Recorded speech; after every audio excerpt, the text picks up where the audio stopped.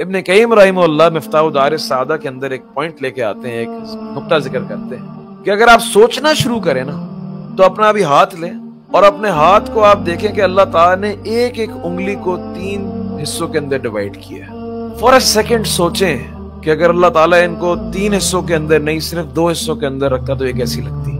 सवाल करें अपने आप से।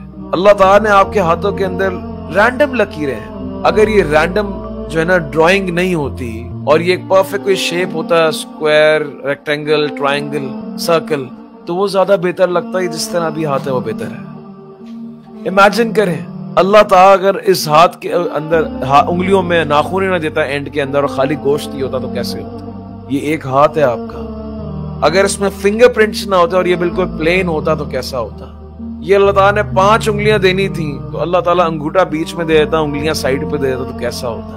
अल्लाह ताला ने इतना करम किया इंसान के ऊपर मैंने हर चीज़ परफेक्ट बनाई है। हर चीज़ परफेक्टली डिज़ाइन की है।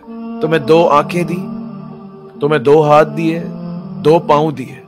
अल्लाह ताला ने इतनी चीज़ें परफेक्ट रखी हैं और इंसान कह दे तफक्कुर नहीं होगा तो ऐसे ही हो गया सब कुछ।